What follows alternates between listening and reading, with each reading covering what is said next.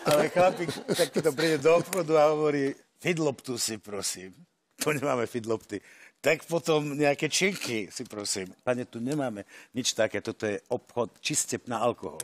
Tak potom dve fľaše borovičky, ale prisahám, že som chcel prestať piť.